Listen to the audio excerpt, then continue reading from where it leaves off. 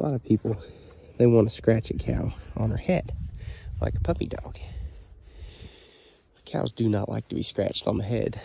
They're either, if a cow's pushing on another cow's head, they're either trying to fight or they are, they're play fighting sometimes, but a cow's head is really not designed to be scratched.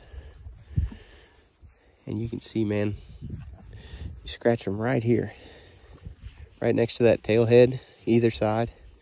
Or you get you a curry comb and uh, scratch right underneath the tail. And you want to move that curry comb. That curry comb is, uh, it can hurt them if you scratch the same place too long, but I mean, everywhere in here, they're just, they really like that. It's just like giving them a back massage.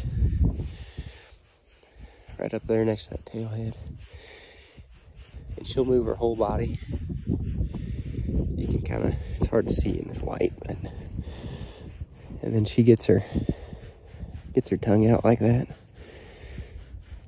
She is at the spa. This is probably the best place to scratch a cow.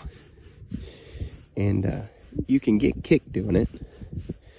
So a helpful tip, if you've got a gentle cow, you probably already know this, but uh, if you got a cow that's kind of questionable, you can start with a stick or a little hand rake or something just to give you enough room to get out of the way.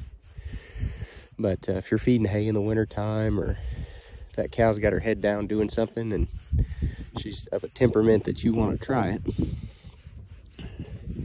just get out of here. She, they're gentle. They'll normally tell you before they kick you. They normally give you a warning. Um, you know, and just kind of start scratching on her. The other place is right up between their shoulder blades. That's another really good place. It's safe. And uh, they really like that right between their shoulder blades. But uh, dude, they're, they're not puppy dogs. Don't scratch them on the head. They sure don't like that. And with cows, you can get away with it. But with bulls, it's especially dangerous because they will uh, they'll want to fight you or they'll want to play with you in either way, a big bull, 2,000 pounds, uh, you know, they could flip over a small car. they'd, uh, they'd pick you up and throw you around. And even a gentle bull that's just playing, I mean, you know, they give you a good hard whack and you're in the wrong place at the wrong time. They're going to really hurt you. Uh, and you're not expecting it from a gentle bull. So anyway, that's my advice for the day.